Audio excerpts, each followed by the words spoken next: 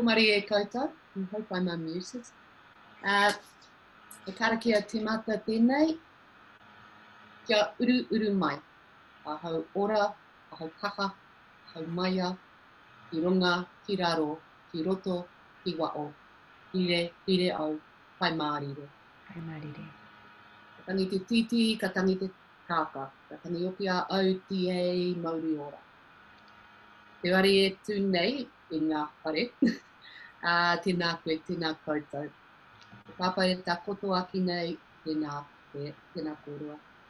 Ngā mate, aire, aire, aire atu rā, rātou i a rātou, tātou i a tātou. Tēnā koutou, tēnā koutou, tēnā koutou katoa. Uh, ko taranaki te maunga, ka o te te waka, ko waingongoro te awa ko ngā wā no ine a au, kei te au ki tāmaki makaurau. So on behalf of Te Wai Wai, the Auckland Women's Centre, it's an absolute pleasure to welcome you all to the space for our first forum in this series, which is Waine Toa Kōrero, which is incredibly apt on this day, which is International Women's Day. Um, those of you who are familiar with our forums will know how lucky we are to have the super flash, Stacey Morrison, the real advocate, radio host, mama, and tele presenter. And she will be interviewing another Waime of Mana, writer, mama, and Dr. Emma Espiner. No mai and Emma and Stacey. I'll hand it over to you. Tēnā koe te tuakana nakala, tēnei kamahi ki a koe, i roto i tō āhuru mōuai o tō kāinga. Aha koe e pāngi ana koe ki te māwiwi kino o te wā, e rongo tonu nei au. I te ngā kau māhaki i te arohanui e rere mai ana ki au. Nō reira tēnei ka mehe ki a koe e te heamana i te kai arahi o tātou i tēnei rā me te pāwhaka wairua i a tātou i tēnei rā. Nicola, tēnā koe o tira, tēnā koutou katoa. Kia ora koutou. Thank you so much for making time in your day. International Women's Day. Congratulations, you get to do everything and it's a treat to be able to do something for yourself. Engari, ko tērā te kōwhiringa i tēnei wā, that's what you have chosen to be with us tonight. So thank you for bringing your energy. Ko Stacey Morrison tōku ingoa, I am very fortunate to be with you tonight and a woman that you all admire because you've taken the time to jump on board. He uri a hau, no ngai tahu no te tahu tōku kuia, no te aroa tūhaurangi tai atu rā ki tū whare toa. But it's not about me tonight. It's actually about this amazing woman who's about to go on the night shift. Oh my goodness. She is incredible, and that's why you're all here. Uh, I would like to say, no mai ki tēnei whare, welcome to this whare kōrero that we have created. I'm going to do some housekeeping now. Um, with regards to housekeeping, don't do it. It's a pandemic, for goodness sake. Do as little as possible, as much as you can manage if you feel like it. But apart from that, the virtual housekeeping I would like to point out is that sometimes it's a little hard to navigate these Zoom systems. So I will give you a couple of pointers. First of all, you do have a few options on how you view this virtual room. You can use the gallery view and see multiple people, or you can set it to speaker view so you can pin a particular person. Now, that's the option if you just want to watch our wonderful sign language interpreters, Tēnā Kōrua, Donna and Bridie. Thank you so much. Thank you. Thank you for your mahi tonight. Otherwise, if you do nothing, um, it's just like housework. If you do nothing, no one's going to die. It's going to be fine. And you'll just see me, Emma, and our interpreters as well. No re rea hoa mā, me aro tātou ki te tino wahine o te rā. So if we talk about this woman who has gathered us here today. She's probably cringing a lot and I don't mind because we do need to celebrate the women who actually give us hope, give us inspiration and help us get better in so many different ways. Ko Emma Espina Tōnengoa no te whānau he paihana, no Ngāti Tukorehe, no Ngāti Porou Hoki. Uh, Emma is a doctor. As a, shall I say one more time? She's going on the night shift tonight. Um, just, I just one more time need to point that out. She's a political commentator, Um, I know that her husband does okay in that area too, uh, but she's an award winning writer, opinion writer of the year. She also speaks fluent meme, which I think is not recognized enough. Uh, also, she wants, she does say on Twitter, she wants to have a practical skill for when the zombie apocalypse um, happens.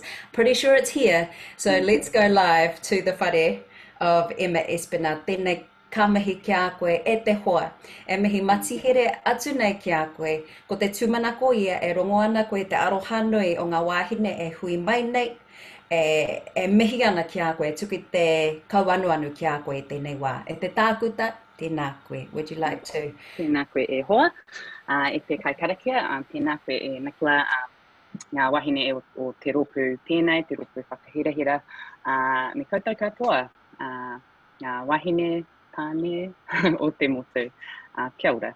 Thank you so much. Um, I absolutely hated that, um, Stace. Thanks. Yep. Um, but uh, yeah, I, I had planned to sort of flip it around and try and make this about Stacey. So, you know, watch out for that during the kōrero. Yeah, that's not going to happen. So, for this apocalypse, um, have, have you found your super skill when it comes to It's probably Twitter, isn't it? Maybe, yeah. I mean, Twitter's a funny thing. Like, it's um, especially you know in the context of you know the protests that have been happening um, over the last couple of weeks, um, and you know um, an era of Trump. Um, there's a lot of criticism of social media, um, and I understand that, and it's not always a safe place, especially for wahine. But for me, Twitter's been a great community. I I mute everyone that I don't follow, so like I don't get res- responses from reply guys and bots and things like that. But um, I just wanted to show you all actually because I've got um, I didn't want to flex and wear my Steph and my you know hospital lanyard to this for weeks. I thought it would be weird, but um, I've got three pins um, on my lanyard, and the first is from uh, Twitter wahine uh, Pepper Raccoon, who um, made this beautiful commemorative pin for uh, New Zealand Women in Medicine. There's an I'm vaccinated um, pin from one of the anaesthetists on Twitter who dropped it into my letterbox one day. And then this here just arrived from Karen Wilton, who um, sent it after I said longingly that I would quite like this beautiful uterus pin that um, she got when she joined family planning. So, you know, that's kind of, I guess, that just really reflects what, what Twitter has been for me in terms of the community. So, yeah, I'm actually quite grateful and I find it a really nice place most of the time. Yeah, I think that's where I first stalked you and decided I need to be friends with you. So, right.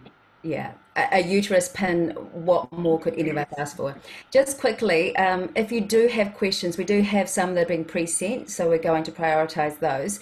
But um, the tikanga is, if you do want to put questions in the chat, then we will be able to answer a few around 8 o'clock. Now, when we talk about Women's Centre, Emma, that probably brings up images of Lower Hutt and your mum, Cole, because um, some people here will know your mum and the fact that you're no stranger to the Lower Hutt Women's Centre. What are some of the positive legacies of your time uh, there and that sort of upbringing that you've had? Interesting that you should mention Cole because I texted her before and I was like, Are you coming? she's like, I can't find the link. So I just quickly sent her the link. So I'm pretty sure she's there. Hi, mum. Um, yeah, so so I, we grew up. I grew up in the hut um, and mum was um, part of the Lower Hutt Women's Centre. And you know, our family's always been pretty um, um, incautious about how much we tell the children. So um, we were exposed to a lot of life's realities early on, um, a, a, lot because you know that was our family's reality. So you know we um, don't come from money, and there were some really hard times. So um, you know, yeah, we weren't kind of sheltered. Um, I don't think, and then as an extension of that, you know, to be involved in something like the Lower Hutt Women's Centre was, um, I mean, I complained about it all the time. You know, as a kid, I was like, I hate going there. I don't want to hang out with your friends. I don't want to see these people. But um, as a young woman, to be exposed to um, a woman only space, um, to feel at home and safe and protected. Um, and it's kind of like that, you know, that concept of a third place, you know, um, in community building where there's, you know, somewhere separate from your work and home um, and that's critical to a functioning society. So also like libraries were really important to me growing up. Um, so that was yeah foundational, um, and so it was women running things for the benefit of other women. Um, but it was also lessons in um, how difficult life is for a lot of women. Um, and so, for a long time, the Women's Refuge was co located on the same site. and so, you know, it was a pretty real insight into the pointy end of abuse and, and things like that. But it was also really um, you know cool to see the kind of transformative things that women can do to help each other. So um, you know, running courses, financial literacy, or you know, um, that weird, you know, those um, recycled books that we used to make. You know, like you make the pulp up yourself and then make them into a weird kind of oh, yeah. lobby book. You know, that kind of you know. And so there were like workshops for kind of everything that you could imagine.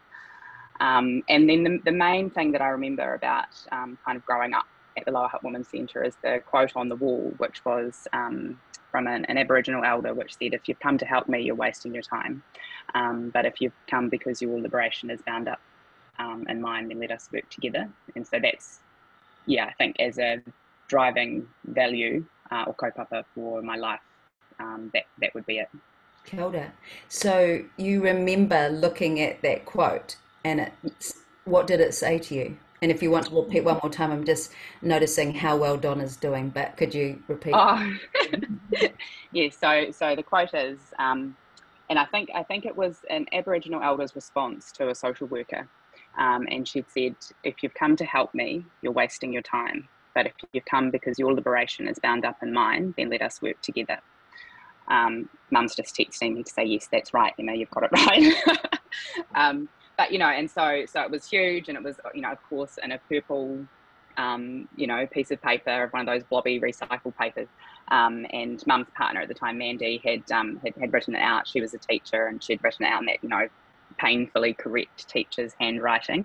Um, so so yeah, so huge impact, and that's you know the beauty of writing and communication is that you can um, put those things around, and then your children um, will take them on board.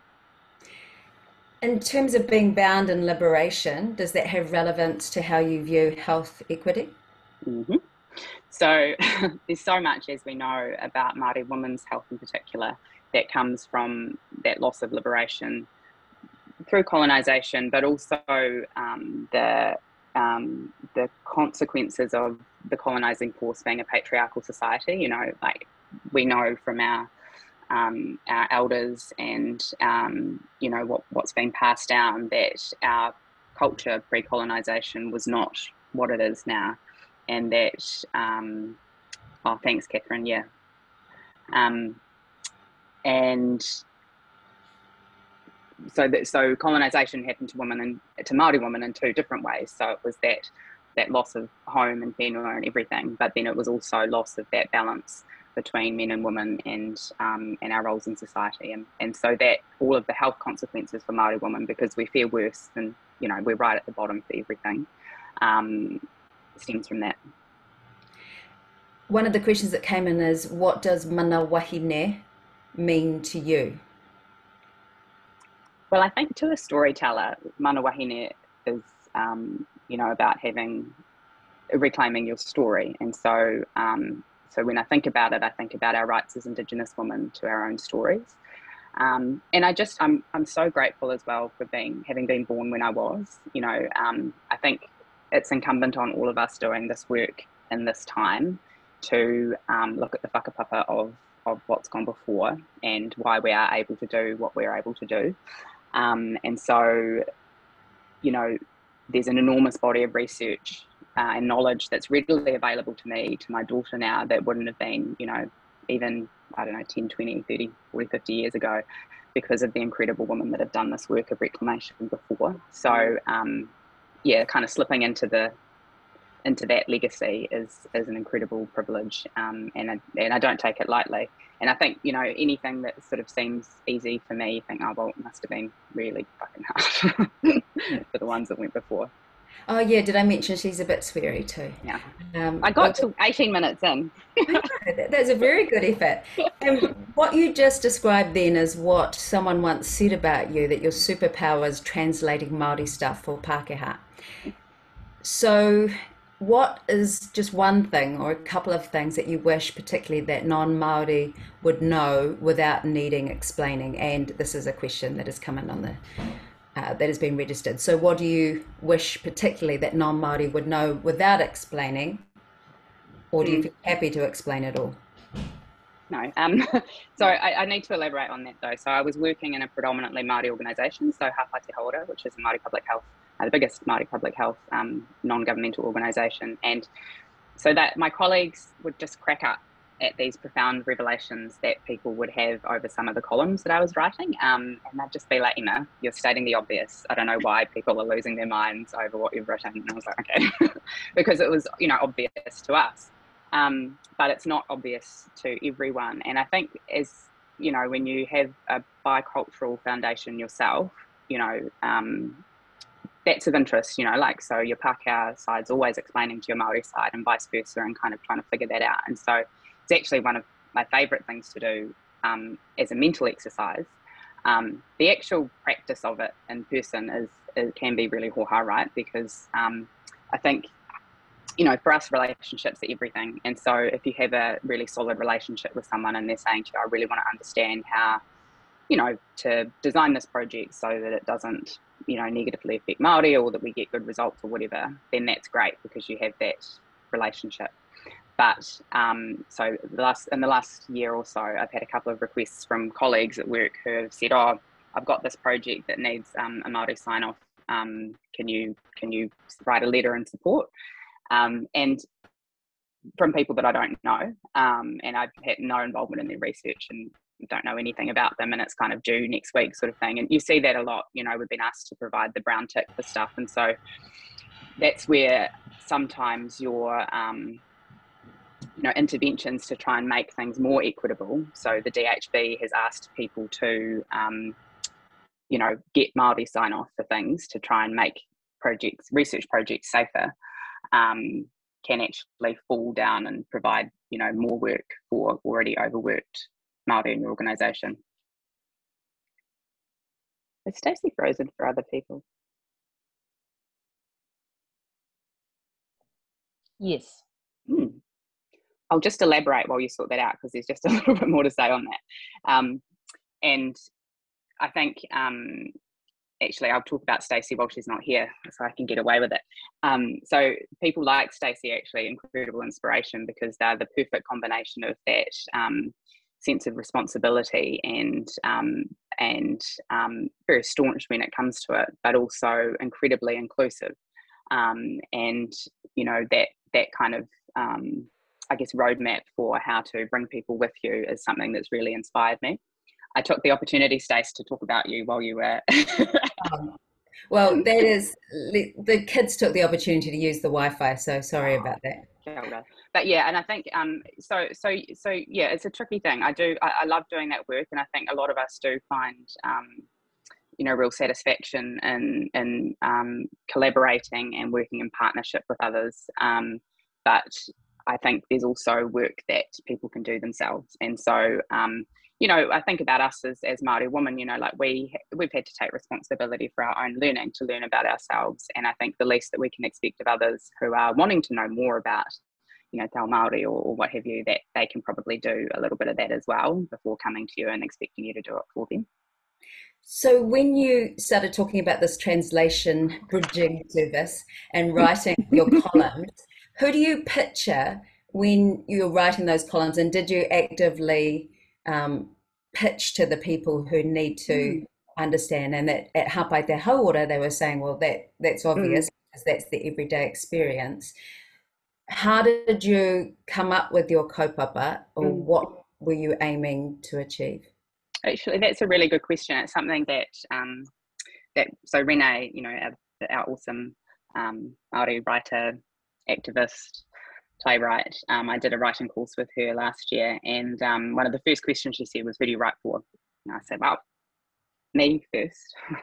um, and she was like, "Great, great answer," um, because that, that that is it really, and that's kind of that bicultural um, identity thing is that you're explaining yourself to yourself, and so. Um, and I think that's the connection part of it. Maybe I don't know. Maybe people feel connected to that um, as a I hate I don't want to say journey, but as that journey, you know, um, because we're all trying to figure ourselves out now, you know, in the Aotearoa of 2022, you know, who are we as people and who are we as a nation? Who, who do we want to be? Um, particularly difficult at the moment. I don't know about everyone here, but I find it impossible to think about anything other than tomorrow right now. You know, like it's, I've got a couple of writing deadlines that are, you know, future focused and I just can't, I don't know. I don't know. I need to lie down. Mm. Yeah but are you finding are people giving you good uh, I guess they're giving you space, knowing that you work at Middlemore Hospital, a place that's under massive stress. Surely and hopefully, mm.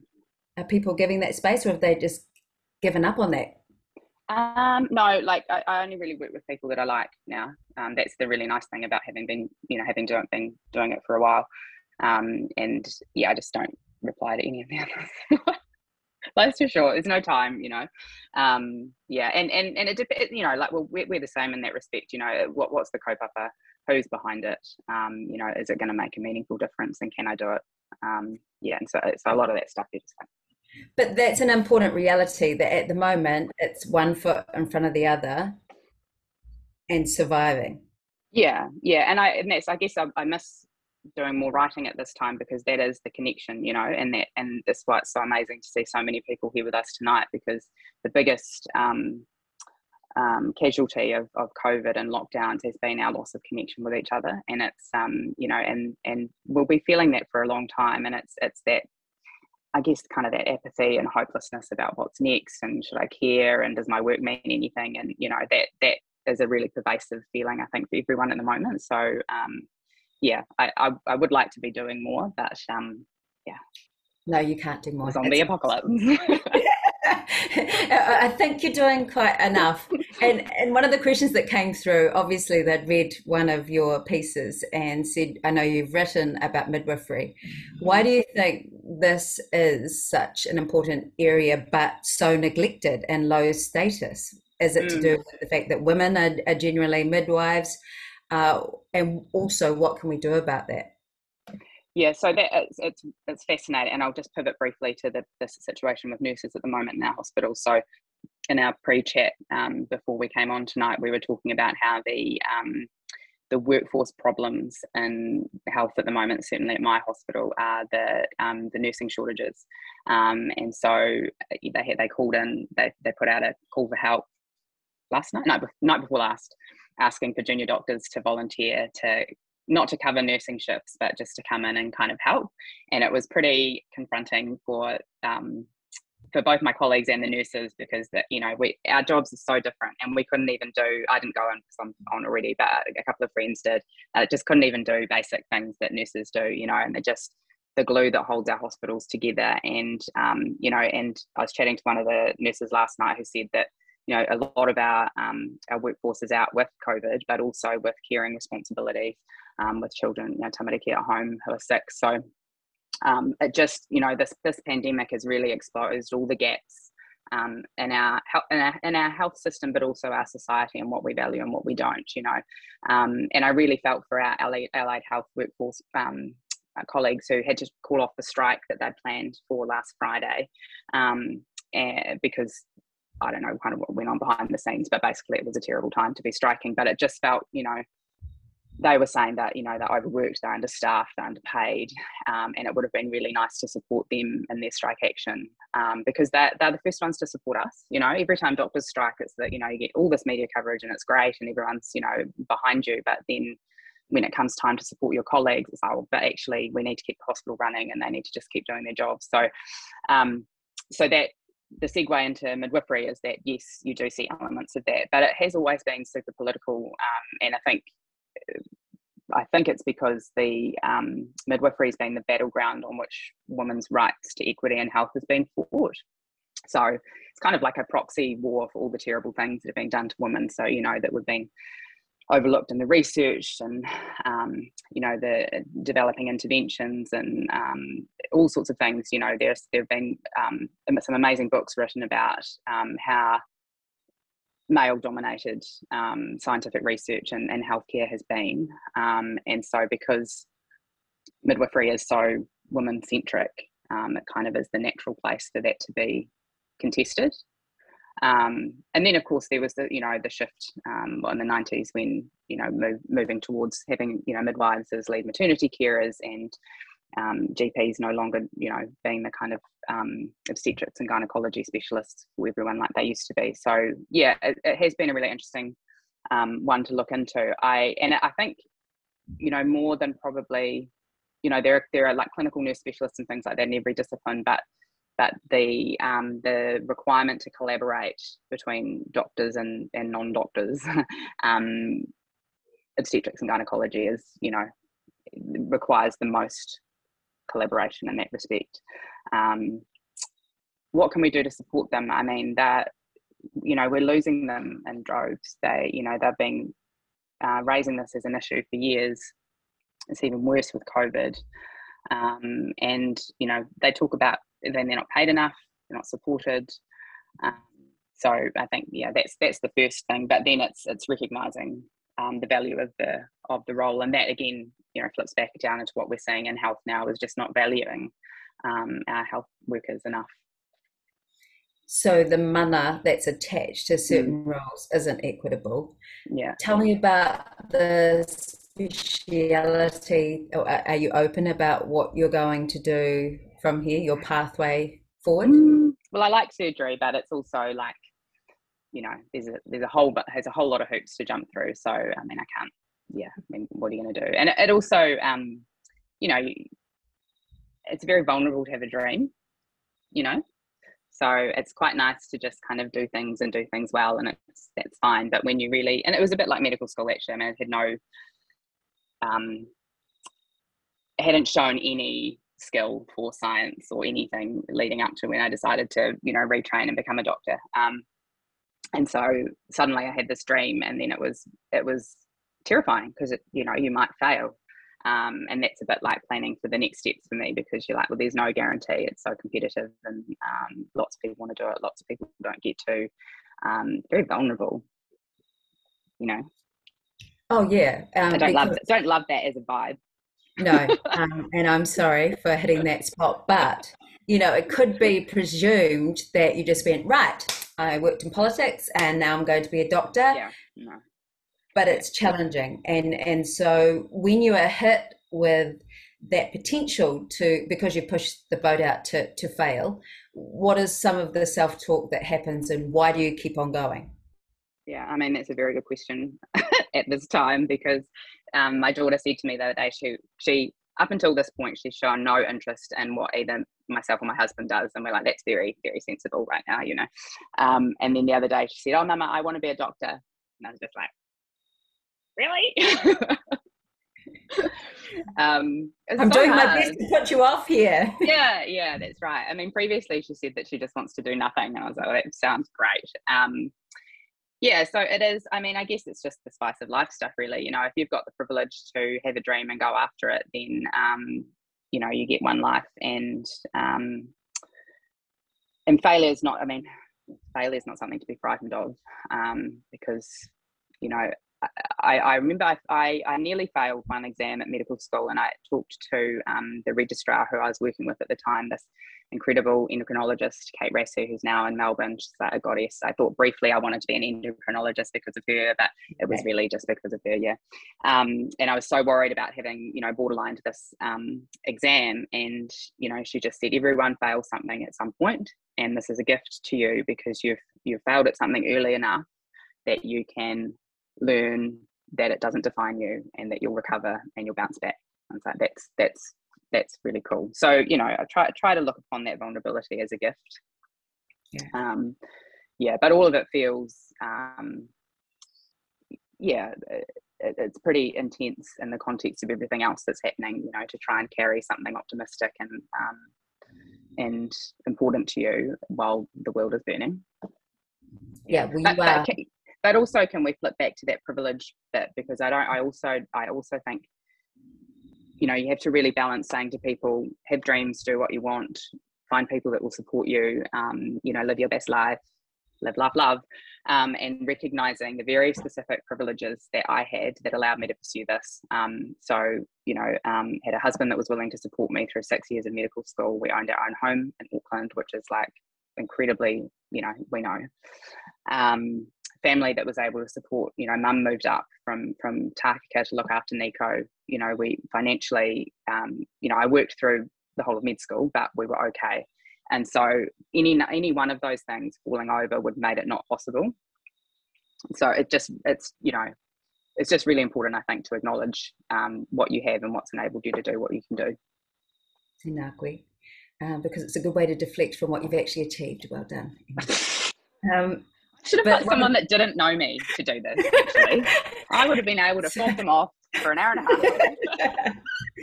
no, well, actually, no, just recognition of that vulnerability, but also what it takes to be in the arena, to be in what we call te mura o te ahi. So, right in the fire pit, but also uh, putting yourself out there. Because someone said in a question, you you're described as once working in politics, and what did that involve exactly? Someone picked up on that because um, this is a bit like um, so like being award winning you know like you can win one award and then you'll be award winning for the rest of your life. So I, I, worked in politics for well so i worked in parliament for a year um, and then obviously the political commentary stuff you could kind of broadly talk about that. But but yeah it's um it's been one of those things that's been kind of used to describe me and define me. And and look it was a pretty definitive year so um I worked for Labour MP Darren Hughes um, for back in 2009. Um, I was taking a break from my career in recruitment um, because the company that I worked for um, had been sold to an evil Aucklander. Um, I was like, I was too to you know, Wellington back then, and you know, just just Auckland was like, hell no. Um, and there was this maternity leave contract going, and Darren was the MP for uh, Horowhenua at the time, and that's obviously where our two quarter here whānau is from. Uh, and I thought, oh well, we've got kind of this Labour Party activism background um, from you know my mum's partner Mandy. Um, he might recognise the Wehi Paihana surname, um, and you know to just kind of give it a crack. Um, very naive, you know, like I said to oh god. But um, on one of the first days there, I said to the woman whose maternity leave contract that I was covering, because it was pretty grim in Labour back then, you know, like they were, like a lot of the ministers had hung around, but were kind of in the process of leaving and blah, blah. Um, and I said to this woman, Oh, I miss Helen. And then she was just like, Just say that a little bit quieter. like, no political nous at all, like, shame. Um, How old would you have been then? I was 25 yeah so i mean i you know like i kind of fallen into this business career and thought i was you know hot shit and had nice clothes and had made quite a bit of money and all of that. And then um yeah i thought i could just kind of waltz into this environment and you know be the smartest woman in the room. And i was like nah these guys are you know legit. And i and i i loved it. Like it was pretty a pretty it's a pretty weird environment to work in for more than a year i think. You know like i wasn't I didn't feel like I was going to be a lifer. Um, but and I have written before about the similarities between hospitals and Parliament. So um, you know the intrigue, um, you know the competing agendas, the real clannish behaviour, um, and and that just high octane noise of like a lot of really smart people in one place, constantly disagreeing with each other. So yeah, it was a really cool. Like I took a lot from it. I mean, a husband as well, um, which was you know um, convenient, but yeah, it wasn't wasn't for me long term. I think actually one of the nicest um, nicest things that happened there. Well, one of those kind of weird crossroads in life um, things. Um, Parekura Horomia was there at the time, and his executive assistant was leaving, and um, they asked if I wanted to, you know, have a go at that. And I really thought about it, but I'd just also been offered a chance to go and work for Linda Fraser, um, Brooke Fraser's mum, who was this incredible um, mentor to me. She was my intermediate teacher and then had gone to work in recruitment and I was going to go and hang out with her. Um, but that's a real one of those paths, you know, like I think if I'd mm. worked for Parekura, um, because the job was basically just traveling around the country with him, sorting him out. Um, no one traveled more than him either. Yeah, yeah, and that would have been an incredible um, yeah insight into into those that, that role, and that might have ended up being something different that I did. But yeah. So then you turn your attention to medical school, a question here is when you think back to that young woman who started medical school, what do you know now that she didn't? The hours are very bad. I was so very, naive. Very oh my God. Yeah. I mean, we don't have a medical family. Like my husband's father is a professor of endocrinology, but he, you know, he's quite old now and he trained under a completely different system. And so, um, you know, we didn't really talk about the actual realities of the job. Um, I just thought I would be a doctor.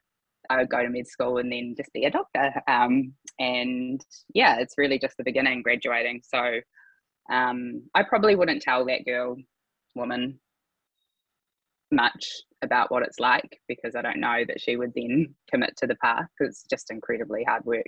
Um, and the, the junior doctor job's pretty unrewarding.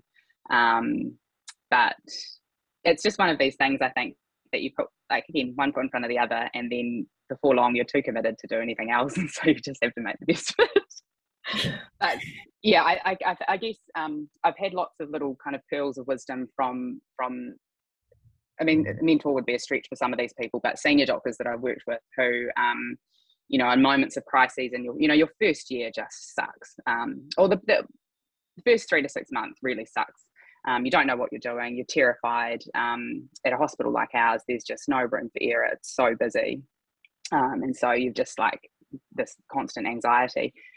And I had a really bad shift, um, and I came into work the next day looking terrible. And my boss at the time said, um, what's wrong with you? I was like, oh, it's just terrible.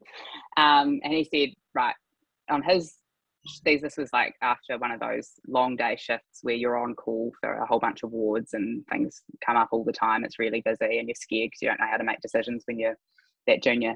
Um, he said, well, whenever I had something like that happen, I would just go and pick the sickest patient or a patient that I liked and go and spend some time with them. And because you can only do you can only deal with one thing at a time and you can only deal with what's in front of you and and i've done that a lot since and weirdly because you do i mean you know it would be impossible to say that you don't get frustrated with with your colleagues the people you look after you know because of the nature of the work. Um, but on the long days and at nights it's quite nice to just go and see someone.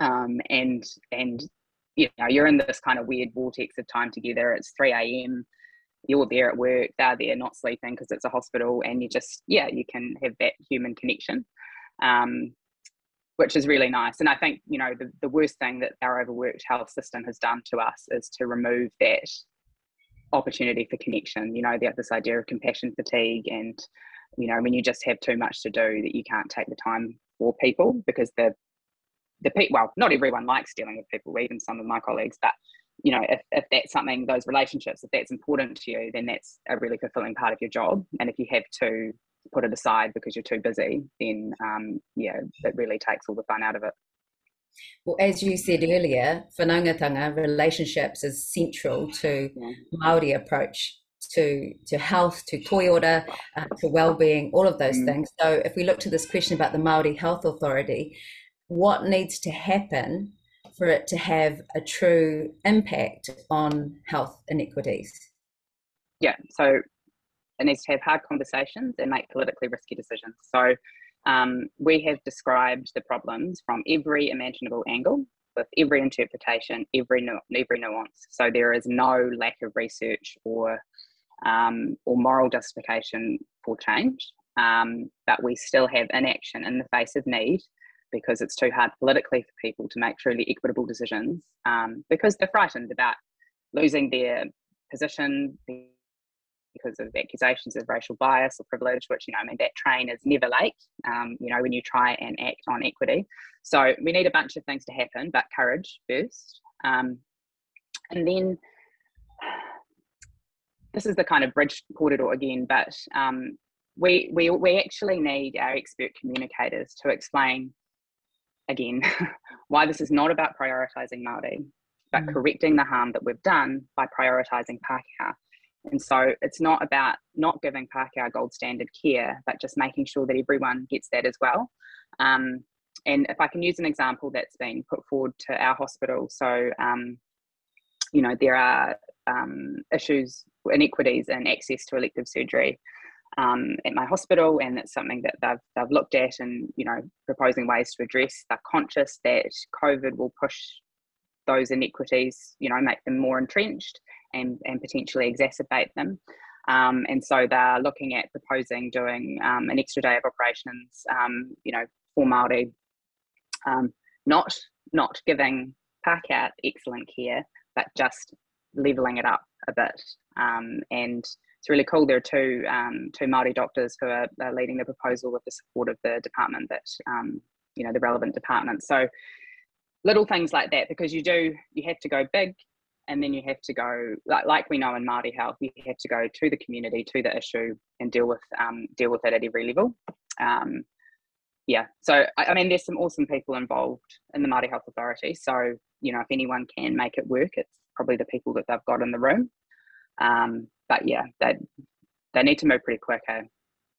So that also goes back to the articles that you're writing that is bridging because mm. that impacts the society within which the Māori Health Authority exists so that the rhetoric of priority treatment is lessened. Is that right? Yeah, hara. And that's like, again, that's to come back to being grateful for the time that we live in because I, you know, um, when you talk to older Māori doctors about the kind of racism that they've experienced and, and people, um, you know, challenging them for not having a right to be there and all that kind of stuff, it's still around, but it's less. Um, and then in parallel to um, health and the way that we train doctors, which is I can't speak to other areas of health because I haven't trained as anything else, but you know the likes of Paparangi Reid, um, Elana Curtis, Rhys Jones, Matire Harwood, etc., um, who do that excruciating work of um, getting medical students to um, unpack their biases, understand the true history of this country and the implications for our Maori patients,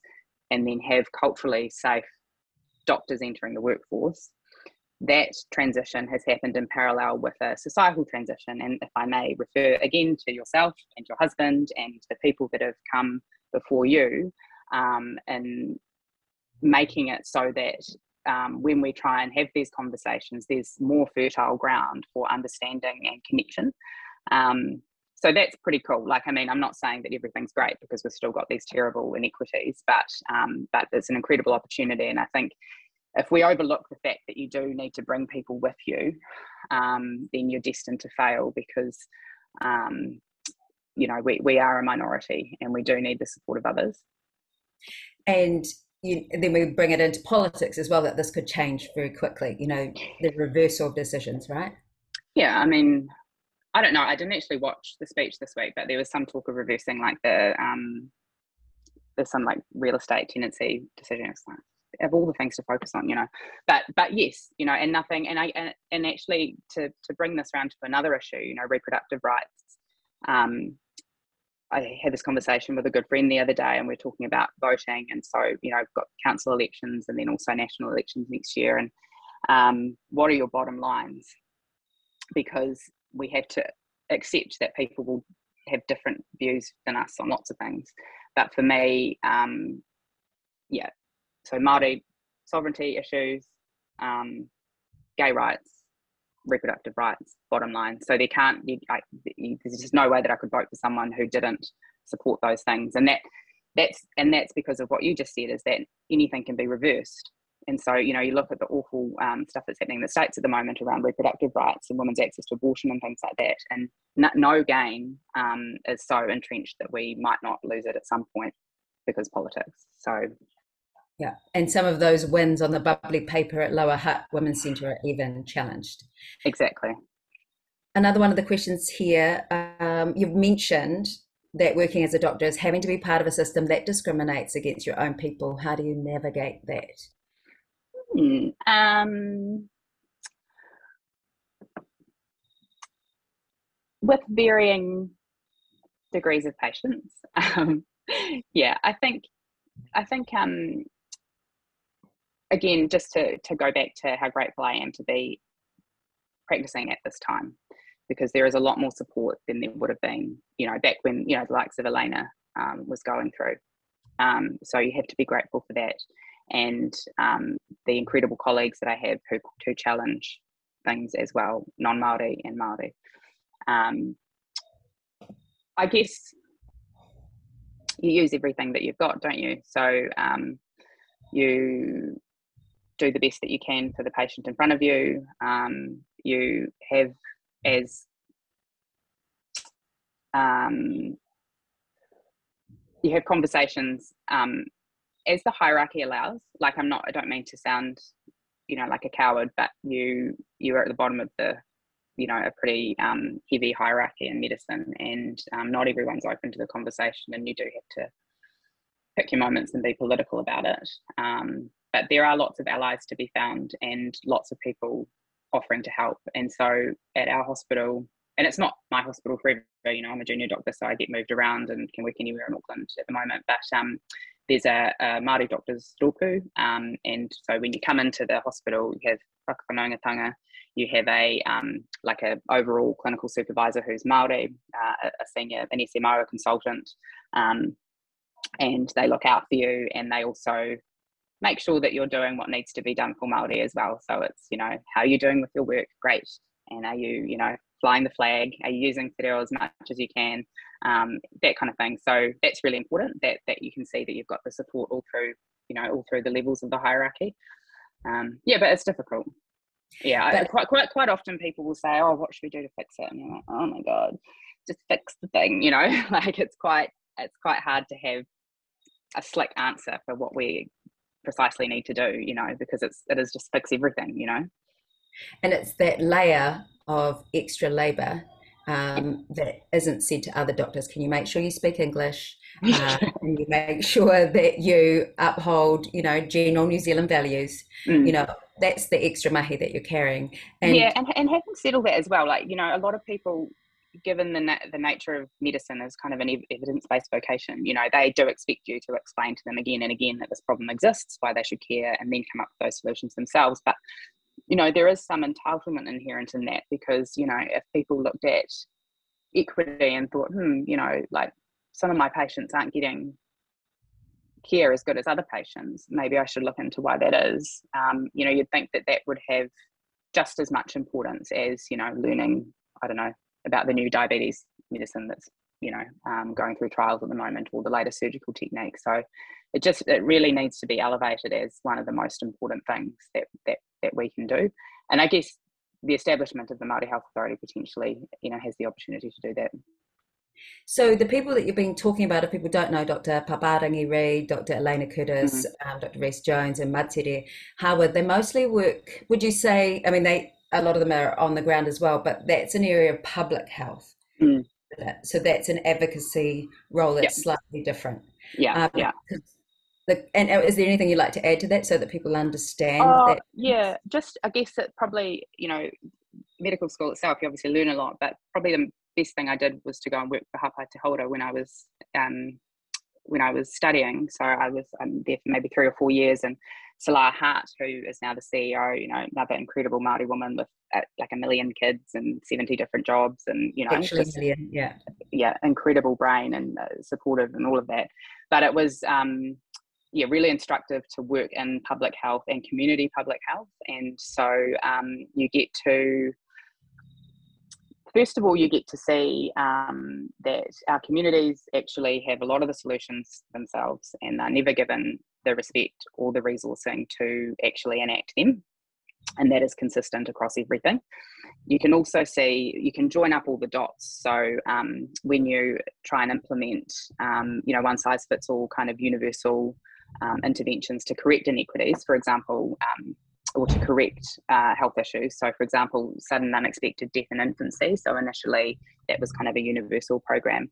Um, and so the rates dropped, but not for Māori as much. And so you, you see that any time that you don't um, account for equity issues, you risk entrenching the issue and then actually widening it because you're making things not any better for the people that are worse off, and then you're actually improving things for the other groups. So um, that it was fascinating to see that and that work and then to also see all the different levers that you can use to generate change so the you know the writing stuff was something that i was doing already but mm. you know um, submissions to parliament and influencing political leaders and you know it's um yeah so that that was you know a parallel education um, yeah and, and, and beneficial yeah, those factors of your world all come together. And I'll just add another part of this question um, social determinants, housing, mm. education, trauma.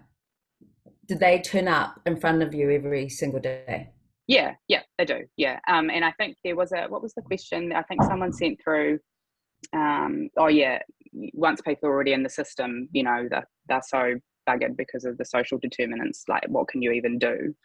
Um, and you know that's I understand the premise, you know, because because a lot of the issues can be explained by differential access to social determinants of health. So, safe, warm, dry home, um, you know, secure jobs, um, you know, proximity to good schools, all of that kind of thing. but um, that's no reason not to address the issues that we know that exist once patients are in front of us because it isn't all of that you know that that accounts for a lot of it. But we also know from the exhaustive research that's been done that Māori encounter barriers at every point in the health system. And so it's incumbent upon us to identify and address them everywhere that they're found. So that's from you know um, kind of prescribing um, decisions where Māori aren't given certain medications because they're considered to be non-compliant, um, whereas you you know maybe they weren't explained properly or weren't supported to actually you know access a free pharmacy or something like that.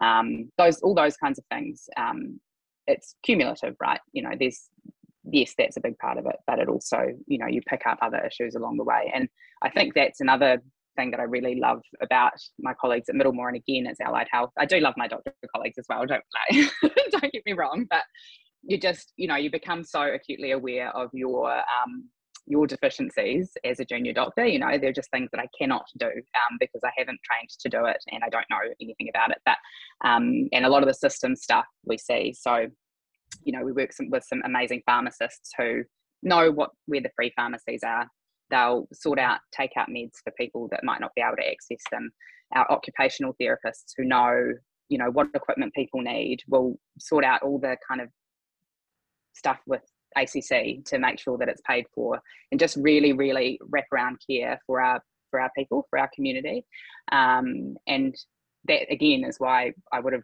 loved to have support their, supported their strike last week because you just see how much they add to patient care every single day. Kia ora. Uh, I've got some questions that have been sent through on the chat, mm. and I want to get through as many as we can.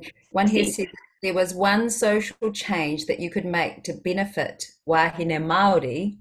What would it be? So that's one social change mm. that you mm. could that you could make. I don't know why you have to do it by yourself, but you know.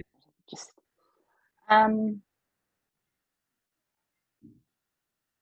really hard to decide between um, you can have them all. This is this is universal um, housing mm.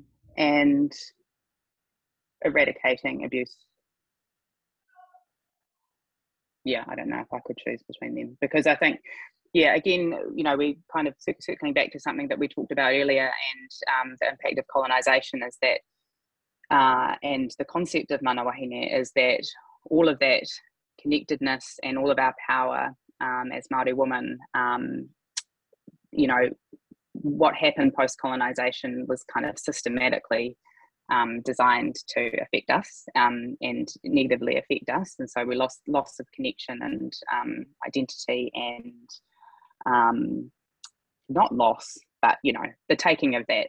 and so, you know, when we look to the whakapapa of, of you know Maori feminists and um, the, women, the women that have gone before us, um, just like wresting that back and, um, and claiming it is is so awesome. And it's just a it's a blueprint, you know. Like I when I was preparing for this, I had um, you know I've got Ani Mikaere's book, I've got um, the reprint of Wahine um, Wahine Toa, Omniscient Māori Women, um, and so many others. The two Mana Wahine readers, you know, that um, Leonie Pihama and oh, probably Annie as well put together. And so you you just got this rich rich source um, of of knowledge and support you know your virtual mentors to to draw on all the time so as a storyteller you understand as well how you can center some characters in a story and willfully neglect others is mm. that's what i'm hearing in your corridor about yeah. why yeah.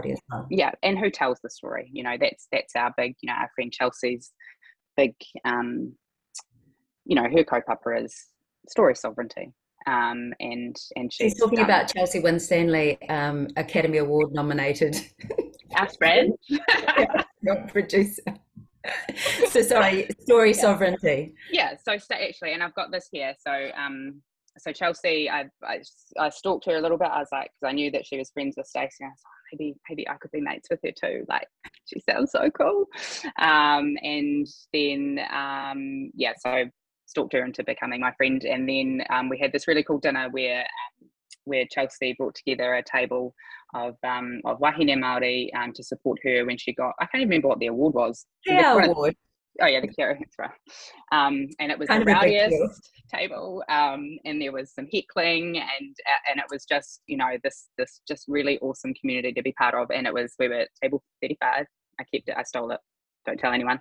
Um, yeah, yeah. And that's just that, you know, um, when you have empowered Maori women, we empower other Maori women, and then it, you know, and it just flows from there. And that's that's you know, I mean, we're not all perfect. Like I'm not creating some kind of, um, you know, fantasy about you know us being, you know, noble savage kind of thing. But um, you know, in my experience, that once once you are empowered, you use that to empower others. And I think for some of our tāne, that's not necessarily been the case.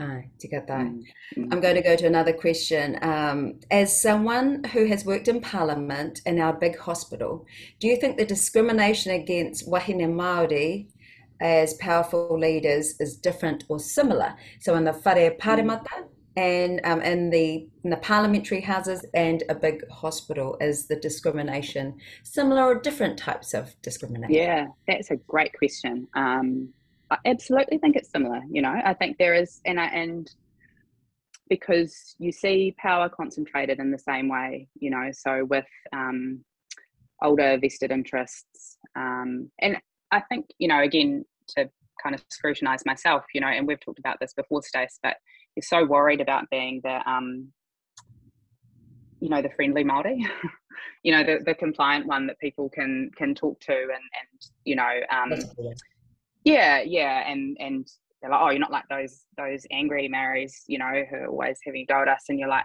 what you don't realize is that we're all part of the same thing, and so you've just got that constant loop to yourself, like, am I benefiting from um, allowing things to happen that other people wouldn't, and is it for myself or is it for the greater good? You know, so it's such a relaxing time. Yeah. well, actually, you did mention yes, that the palatable you, one. I yes, yeah, yeah. Mm-hmm. Um, the Oh yeah, I didn't know if you heard me say that. That yeah, so we all know um, yeah. the palatable one, um, what that means because it doesn't feel like a compliment. Um, yeah. Are we selling out to our people when we do that, mm. Um, or are we yeah. bridging for a certain amount of time? And it's also hard to, you know, like it's that thing about how we um, how we judge our contribution and whether that's through a Pākehā lens or through a Māori lens. And so both politics and um, and health, even though they are kind of about greater good stuff, they also um, really kind of lionize individuals. And so, you know, that's the, the, idea that there's, you know, yeah, there's kind of like a, a, golden prize for the best person, and then everything else is less good. And yeah, that collective energy, even though both um, both hospital and parliament actually thrive on the, the collective. Um, yeah, that they they do prioritise the individual. So speaking of that Fare uh, whare paramata, last week, and you mentioned that you're a Tuturu Wellingtonian. Mm. Uh, how are your Wellington feelings after what has been happening? A lot of Wellington feelings. Um, I thought about offering to come down and help clean up the grounds, but then like I'm horrible at cleaning things and also very bad at gardens. So I would be, you know, and this is the kind of, you know, always feel like a terrible Maori woman because people assume that you must have this, you know, whenua connection and you're, you know, kia ora, Catherine. Um, and I'm like, no, no. Back in the day, I would have had to have a place in the wharenui, like having thoughts and stuff, not out there hunting and gathering or attempting to grow anything. Um, but yeah, I, mean, it was a really horrible, a horrible time, and um, uh, I I had this debate with my husband about it because he was saying, oh, you know, every protest movement is imported. You know, he thought that the focus on this as a non-New Zealand um, protest was overdone, and I was like, oh, I was trying to figure that out. Like, I kind of get it in the sense that you know we we marched for Black Lives Matter and we you know nuclear free and all of these kinds of things, and but the the difference in this protest was that like the speed at which the disinformation can spread, the cynical, um, you know, use of that disinformation, and um, the influence of some really ugly parts of our society, um, co-opting, you know, any kind of um, any kind of purity of message that they might have had, and you can kind of say that people were confused and misled, but also I think you had to allow people agency as well. So you have to kind of find treat a fine line between patronizing people for just being too stupid to, to know, you know, and going actually people made these decisions and then how do we kind of mm. heal that rift? I also don't believe that we're a you know deeply divided society. Like some politicians have tried to make the most out of this. You know we have extraordinarily high vaccination rates. We had incredible compliance of um, around the public health measures to protect everyone. We do have divisions but not along those lines. You know that's just political opportunism Speaking of which, uh, there's a couple of questions that I, I can't neglect here. Um, and also, I'm just going to turn the light on because it's like looking like I'm kind of Shall I do that for, the, too? for okay. the crew. Yeah. we both will. Okay, so here we go. And there's light.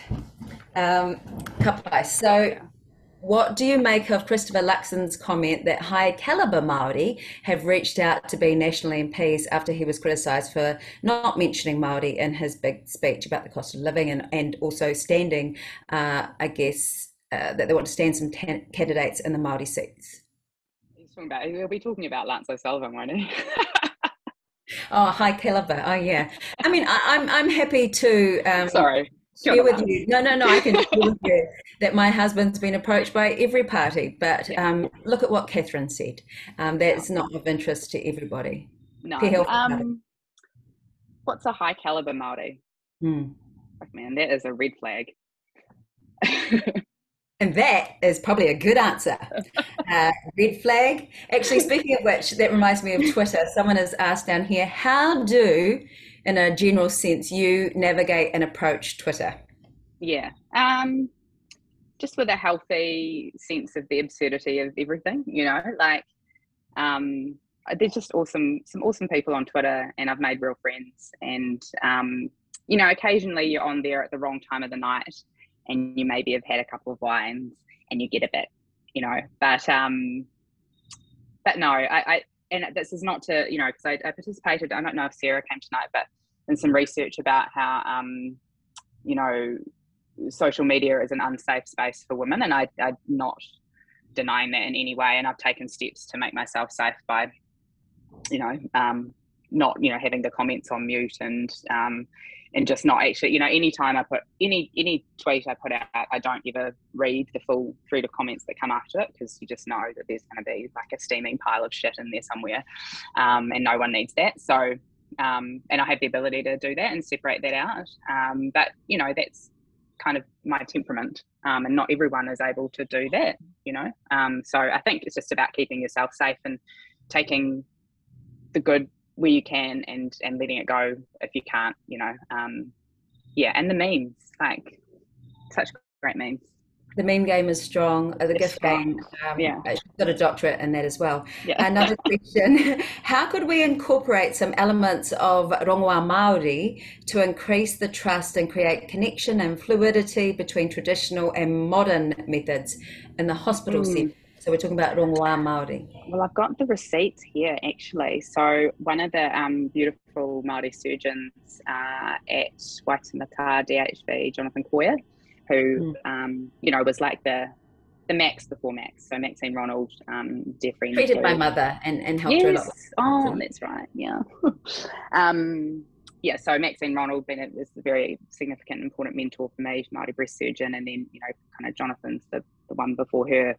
Um, but he did a paper and uh, looking at um, oh, I'll be so annoyed with myself for getting it wrong, but it was like attitudes to Rongoā Māori um, being introduced in this way at his DHB. And it was like, I think majority positive from all the health people that they talked to about incorporating some of this stuff. And um, I, I mean, I would love to hear from someone like Arihia Latham. She's your whanaunga, eh?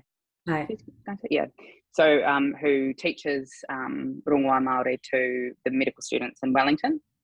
Um, so yeah, there are heaps of opportunity. I mean, there's so much, so so such a small part of what we do is actually the stuff that like I trained to do at medical school, and I love that bit. Like I'm, I wouldn't be good at any of the other stuff, um, but it is such a multidisciplinary um, service that yeah, and and I and our Māori health team at, at Middlemore is amazing. Like, um, and they do aspects of that just in the way that they are. You know, it's not it's not bringing out the color color bomb or anything like that, but it's just their their um, the relationships and the way that they support Pano is the rongoa, you know, and and the storytelling and the connection. So yeah, it's possible, um, definitely. What I can share with you is there's a rongoa symposium coming up in June uh, that is funded by the Ministry of Health and the Maori the new Maori Health Authority. Um, it's getting input from everybody, so that would suggest that some there's some growing understanding mm. of the worth and exactly everything you've mentioned there. Tēnei ka mihi kia koe. Thank you for that question. Mm. Uh, another one here: How could the housing needs of wahine Maori be met? Emma, we'd just like you to solve all of these questions before you go to your night shift at nine o'clock. Just give them houses, like fine people need a house, build a house, you know. Um, but you know, again, this is the this is whakapapa to everything, you know. So um, I think you know back when mum and dad, like mum's Pākehā and dad's Maori, when they were looking for rentals, you know, you send the Pākehā person to have a look, and you know, all of that stuff has intergenerational flow-on effects as to, um, you know, who who has access to these things. I think was it Tainui Stephens who wrote on e over the weekend about um, going to talk to a landlord who had refused to offer a mm-hmm. tenancy to a, uh, yeah.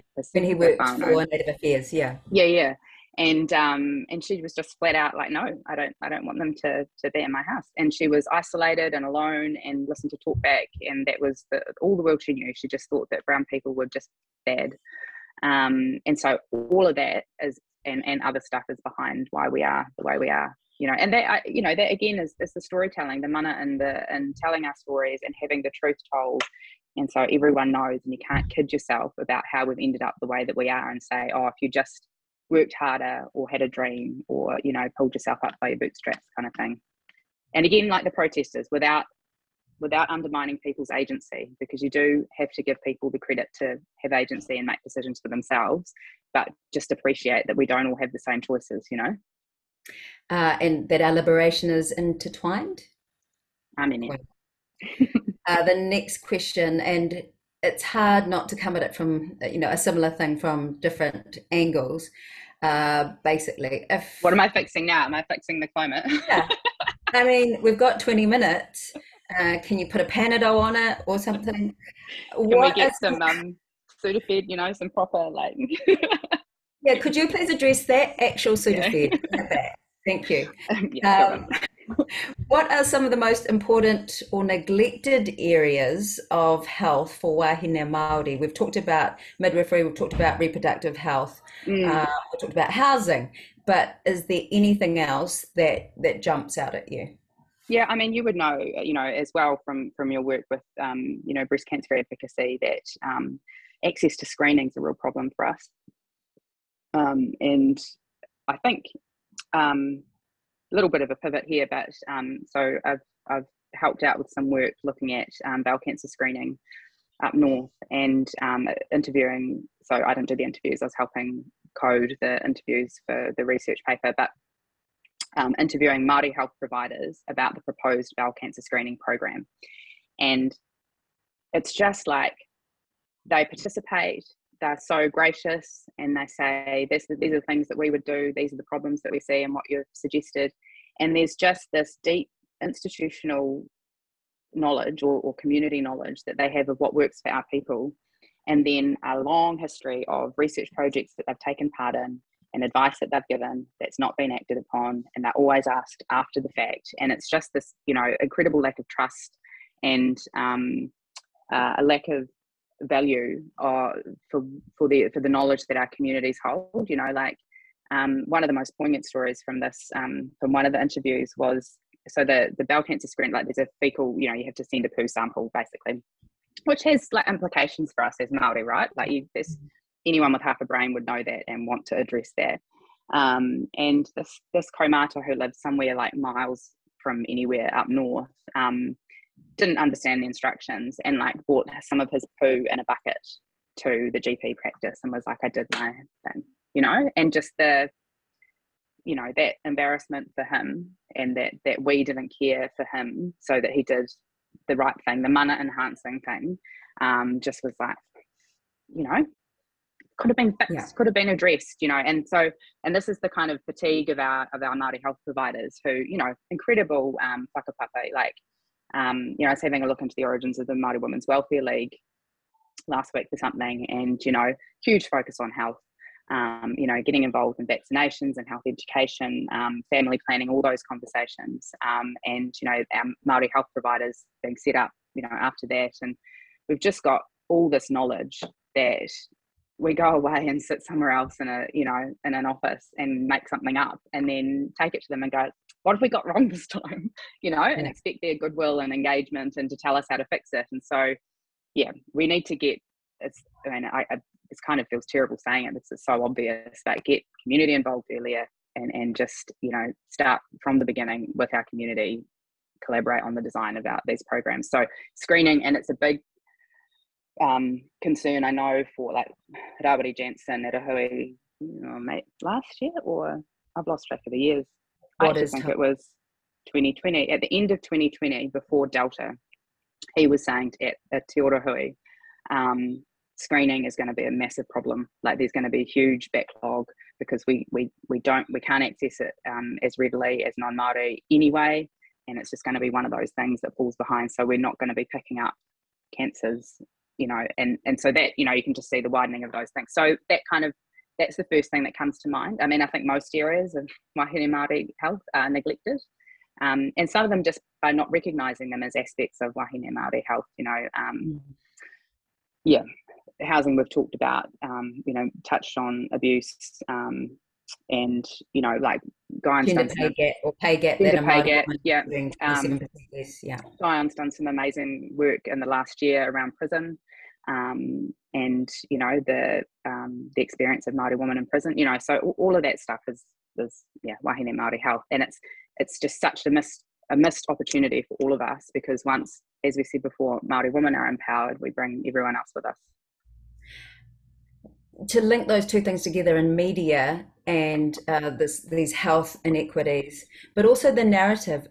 Unfortunately, when I've talked about breast cancer screening, uh, a lot of the focus has been that Māori women don't engage as if the onus is on Māori women.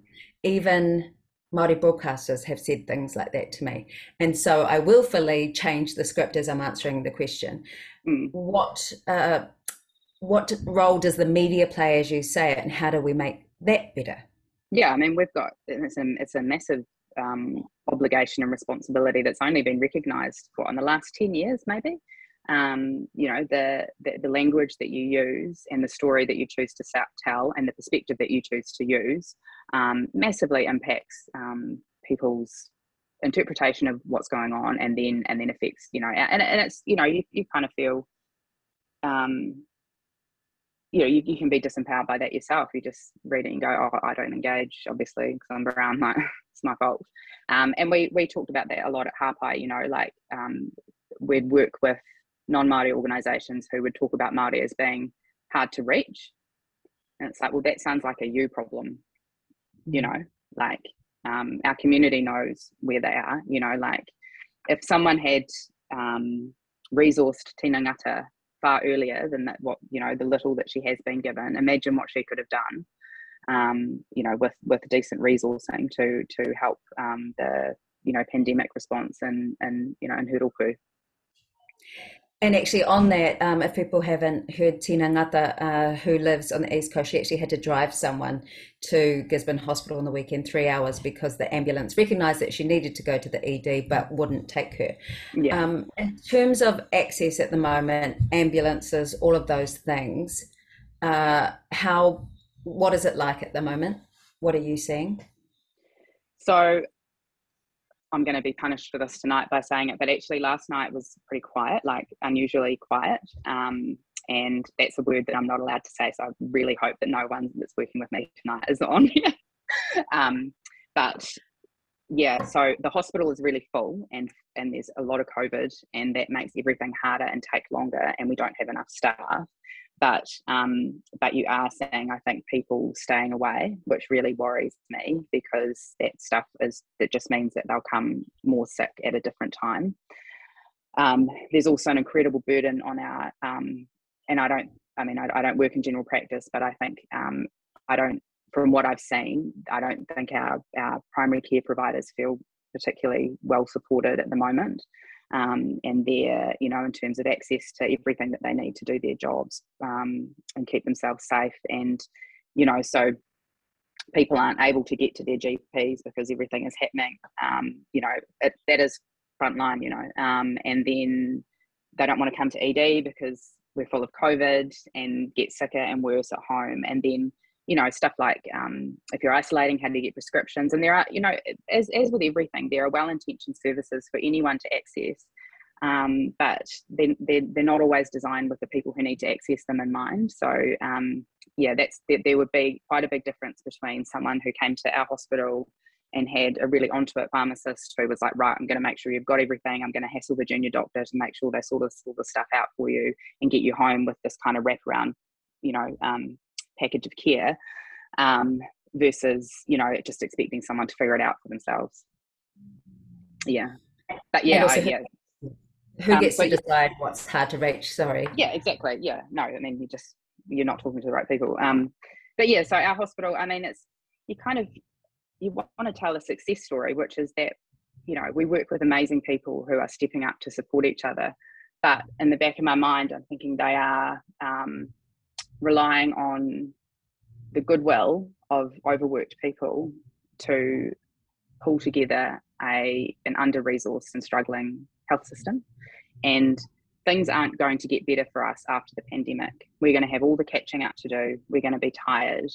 Um, there's still not going to be any annual leave available for us and our underpaid colleagues are still underpaid. So it's just you know um, yeah we, yeah. this is the compassion fatigue thing. This is why people are, you know, burning so out.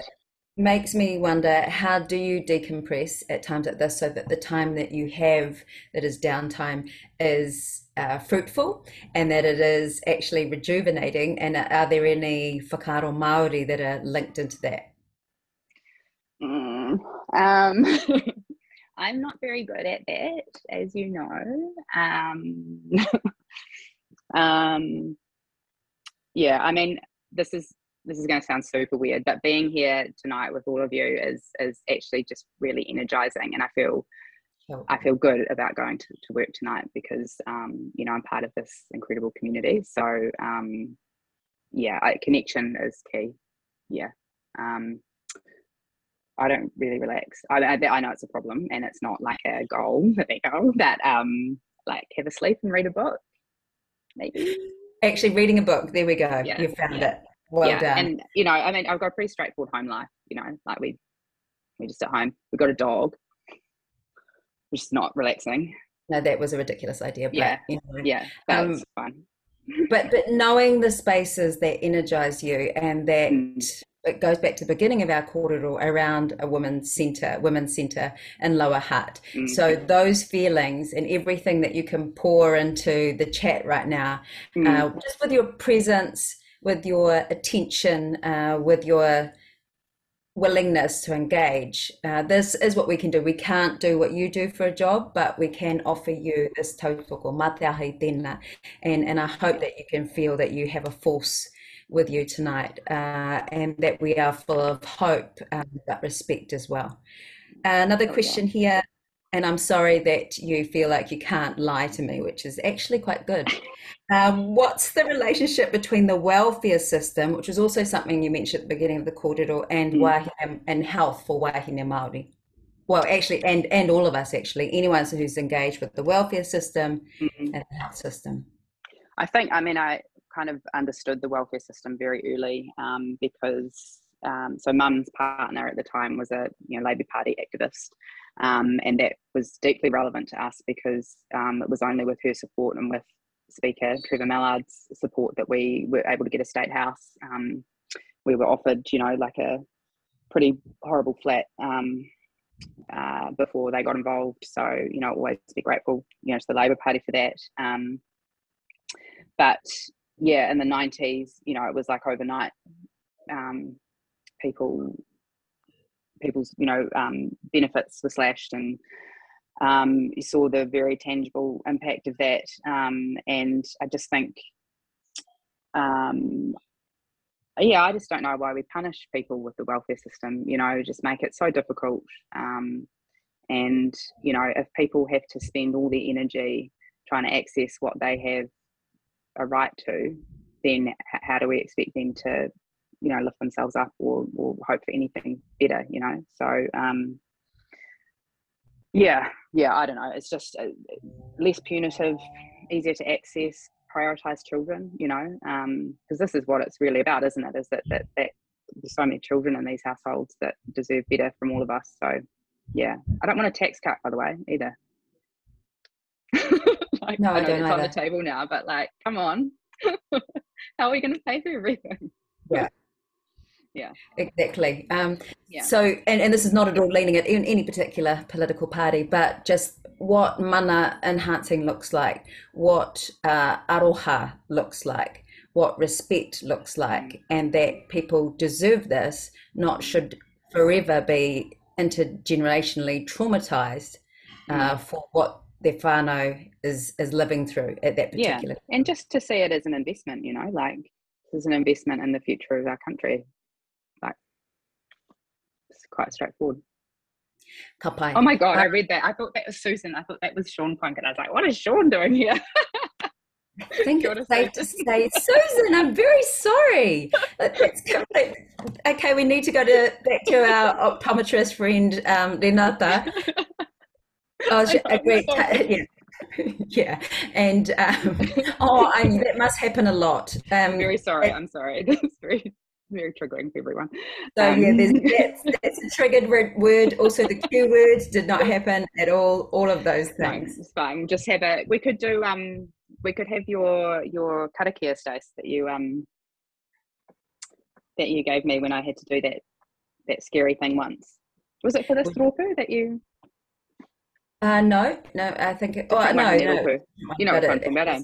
Yeah. Yes. Um, would Would you like to do it for us? No, I'm just suggesting that you might like to.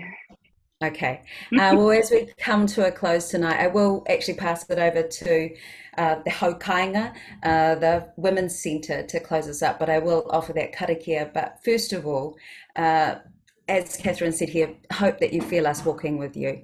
And it's not just you, it is Colleen. It's your whakapapa mai mai mai from a long time ago. It's about the hope. It's all of us who grew up with a single mum uh, on the DPB, all of those things that you dared to dream. They give us capacity to dream and our liberation is intertwined. No reira e mihi nui ana ki a koe, e taku tuakana, e taku kuru pounamu. Uh, hei kōrero whakamutunga māu pia, is there anything you'd like to leave us with? No, just, I feel very loved. My favourite thing. Koina te rongoa o ngā rongoa. It is Ai, the ana, most ana. medicine, is that aroha. Karanga karanga te rangi e tū nei. Karanga karanga te papa e takoto nei. Raranga hia mai te rātua. Raranga hia mai tua wāhine. Ko hine ahu one, ko hine tītama, ko hine rau whārangi, ko hine te iwa iwa. Ko au e tū nei. Ko hine i te ata. Ue hā tau mai te mauri. Haume e hui e taiki. Taiki. Kia ora. Ooh, is that me? Come, Maori order. Jeepers, I don't know what, what, words I was supposed to say, but um, uh, so much kai for the heart and and and the brain and the and I, you know, laughing is such huge medicine. Um, and I think that's an aspect in Te Ao Māori that we that we forget about how crucial mm. that is to um, keeping our modi up and making us feel good. Mm. So uh, ngā mihi nui, ngā mihi aroha. I know you have to run off. Emma, thank you so, so much. Uh, yeah, uh, so I have to say things like there's going to be a link to this um, somewhere, sometime, probably on the AWC site. And thank you, Ngami. Also, um, Stacey, as as always. Did you want to finish with another karakia? Um, the one that Emma was talking about, was that the one? Oh, that was that was the one. I can do another. No, um, no that was the one. But no, um, particularly, one, yeah. Donna and um, Brady as well, our interpreters, we appreciate you. Kia ora kōrua, tēnā kōrua. And it's back to you, Nicola. You're the boss. Oh, it feels funny doing it, my, our karakia after your karakia. I feel you, that, that you've um, closed us that you've closed us up. Sorry, that was me. and settled us and, and um, yeah, held us all. So, Modi ora tātou. Mm. No reira, e karema, uh, please go with that energy. Uh, we're all doing our best out there, and please know that we see you. We I've felt your energy tonight, and so appreciated it. No reira. Uh, one more time, she'll give it a haumie hui e taiki. Haumie hui e Ai, taiki. kia. Mauri ora. O Māori.